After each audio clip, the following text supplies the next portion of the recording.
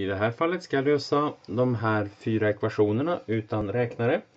Och jag börjar med att titta på A-uppgiften och omvandla den med hjälp av logaritmlagarna.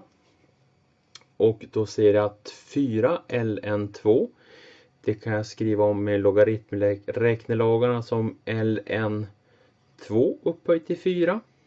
Så jag har lnx på andra sidan på samma sätt som tidigare. Och jag skriver lnx här igen. 2 upphöjt till 4 det är 16 så jag får ln 16. Så om lnx är lika med ln 16 då måste x vara 16.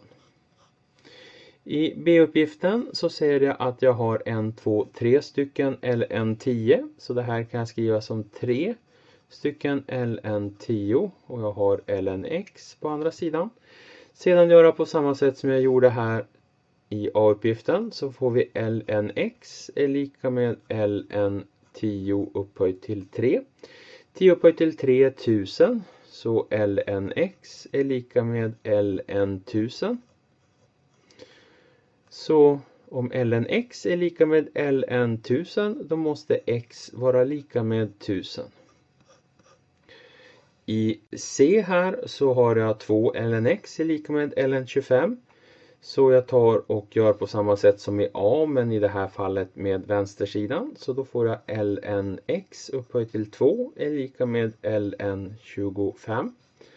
Och om lnx i kvadrat är lika med ln 25, ja då måste x i kvadrat vara lika med 25.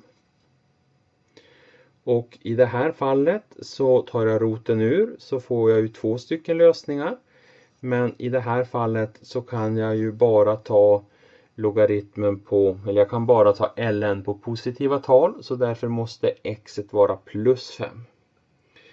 Sedan har vi d-uppgiften och då har vi ln 8 minus x är lika med 0. Det här betyder ju att det som finns i parentesen 8 minus x måste vara detsamma som 1. För ln 1 är 0. Så tar jag och flyttar över x på andra sidan så får jag 8 är lika med 1 plus x. Tar minus 1 på båda sidor så får jag 7 är lika med x. Sådär.